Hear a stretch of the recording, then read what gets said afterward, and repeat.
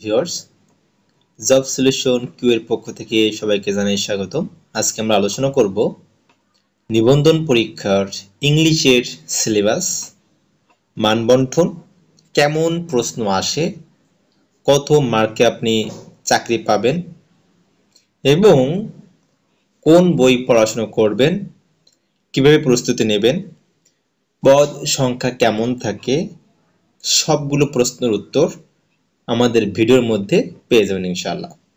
তো চলুন শুরু করা যাক।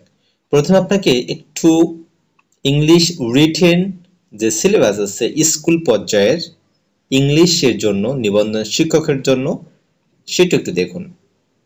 Articles parts of speech appropriate use of preposition, subject, verb, agreement, linking verbs, main verbs and auxiliary verbs right use of verbs using correct form of adjectives gerund participle or infinitive আচ্ছা part B common confusion যেটা confusion বলি it's it's good well fewer less etcetera তারপর হচ্ছে narration voice correction transmission of sentences phrase and idioms completing sentences, joining sentences, or framing sentences, expressing different attitudes or emotions. Composition হচ্ছে paragraph writing letter অথবা application writing আর precise writing or amplification তারপর হচ্ছে punctuation creative creative রাইটিংয়ের মধ্যে আছে আপনার এসে writing writing of report on a problem or investigation তারপর আপনার আসবে translation from Bangla to English sorry so এখন আমরা বিগত আঠারোতম শিক্ষক নিবন্ধনে যে ইংরেজিটি কোশ্চেন ছিল, সেটি আমরা দেখব। সহকারী শিক্ষক ইংরেজি ও সাধারণ বিষয় ভাষা। সময় তিন ঘণ্টা পূর্ণমান একশো। ঠিক আছে? সো প্রথমে দেখুন, এখানে আসছে fill in the blanks with suitable articles এক নম্বরে আমাদের পাবো হচ্ছে আর্টিকেলস যেখানে হচ্ছে পাঁচ নাম্বার থাকবে। সো আর্টিকেলস এখানে আপনার নিশ্চয়ই বিগত সালে কোশ্চেনটা দেখেছেন। সো কোশ্চেন আর্টিকেলস থেকে খুবই ইজি হয়, এটি স্বাভাবিক। Fill in the blanks with appropriate preposition so preposition এখানে দেখুন অ্যাডিক্টেড অ্যাকিউজড ঠিক আছে? সো এগুলো মোটামুটি, তবে দুই একটা একটু ডিফারেন্ট হবে। সো সেই দুই একটার জন্য কিন্তু মানুষ চাকরি পাবে।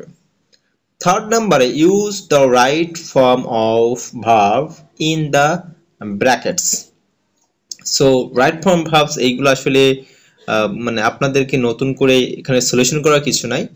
এই সলিউশন করার জন্য আপনারা যে বই রিটেনের জন্য কিনতে পারেন, সেটা হচ্ছে ফ্রেন্ডস বুক যেটা ফ্রেন্ডস কর্নার যেটা থাকে, যে বইটা বাইর করে ওরা রিটেনের জন্য, সেটি আপনারা পড়তে পারেন। আর চাইলে দিগদর্শনও আছে, তবে ফ্রেন্ডস বুক যেটা আছে, ওইটা মনে হয় সবচেয়ে ভালো হবে।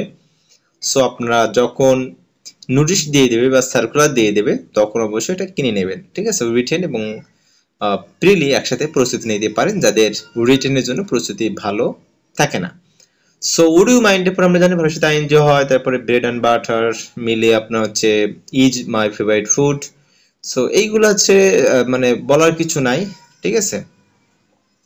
তারপর চার নম্বর হচ্ছে কারেক্ট দ্য ফলোয়িং সেন্টেন্সেস যেমন I left the pen to him he neither helped me nor my brother I rather die than to steal so tell me why have your why have you come so আমরা জানি এগুলো আসলে relative প্রোনাউনের পরে কখনো হচ্ছে interrogative হয় না so you have come এইভাবে আসলে ওপেন পেজ অ্যাট ফিফটি এইভাবে কিন্তু এগুলো অ্যান্সার করতে হয় আপনারা ভালো করে জানেন, এগুলো আসলে এখানে বিস্তারিত আলোচনার কিছু নেই জাস্ট আপনাদেরকে কোয়েশ্চেনটা দেখানো। পাঁচ নাম্বার দেখুন transform the following sentences as directed so প্রথমে দেখুন, এটা active the and is known as an industrious এটাকে অ্যাক্টিভ করতে হবে। নো পেইন নো গেইন এটাকে আপনার কমপ্লেক্স করতে হবে। I use to meet my mother twice a month এটাকে ডাব্লিউএস কোয়েশ্চেন করতে হবে। Every one knows that he is a fool এটা প্যাসিভ করতে হবে। He did as he was told এটাকে কম্পাউন্ড করতে হবে। সো এখান থেকে আমরা দেখলাম যে সেন্টেন্সের মধ্যে আপনার সিম্পল কমপ্লেক্স কম্পাউন্ড থেকে কোশ্চেন হয় এবং প্যাসিভ থেকে কোশ্চেন আসে। আর পাশাপাশি অন্যগুলো অন্য অন্য এক্সামেও আসছে বিভিন্ন কোশ্চেন আচ্ছা ছয় number make sentences with the following phrases ঠিক আছে? এখানে পাঁচ নাম্বার থাকে down to earth once for all তারপর হচ্ছে blue blood the lion share bit in mind ঠিক আছে? এইগুলোকে কি করতে হবে আপনাকে? এই ফ্রেজগুলোকে সরি আপনার হচ্ছে মিক্স বাক্য তৈরি করতে হবে ফ্রেজগুলো দিয়ে। এখন এই ফ্রেজগুলো জেনারেলি আমরা যেসব ফ্রেজগুলো পড়ে থাকি, একটু ডিফারেন্ট টাইপের ফ্রেজ আমার কাছে পার্সোনালি মনে হয়েছে। যাদের এক্সপিরিয়েন্স আছে তারা অবশ্যই জানবেন। তবে এই ফ্রেজগুলো দেখা যাচ্ছে যে মোটামুটি সবাই অ্যান্সার করতেই পারে। সাত number complete the following sentences he was rewarded falls R thick were so work carefully lest তারপরে he should were you should so they were so lazy no sooner had dot dot আমরা জানি I gone out so এগুলোকে complete করতে হবে। এখন just আপনাকে পড়াই শোনালাম। Since the form of speech, as she shook hands, she told me to follow her example and never call more than one thing for luncheon. সে সে লান্সের কাহিনী সেই কবি এবং মহিলা কবি সে মহিলা ভক্তর কাহিনী এখানে এটাকে আপনাকে কি করতে হবে ইনডেট করতে হবে। এগুলো আসলে আপনারা অ্যাডভান্সে কিন্তু পেয়ে যাবেন, ঠিক আছে? আমরা লাস্টে কিছু অ্যান্সার দেব আপনাদের প্রশ্নের, যে কত মার্কের আপনি হচ্ছে, হইলে আপনার সেফ জোনে থাকবেন। তারপর হচ্ছে আপনার কোন বই কিনবেন ঠিক আছে? এই ধরনের যে প্রশ্নগুলো, সেগুলো আমরা উত্তর দেব। তাছাড়া হচ্ছে পদ সংখ্যা কেমন থাকে, সেক্ষেত্রে ইংলিশ থেকে জব পাওয়া কেমন হ্যাঁ? কত নাম্বার পেতে হবে, সব বিষয়।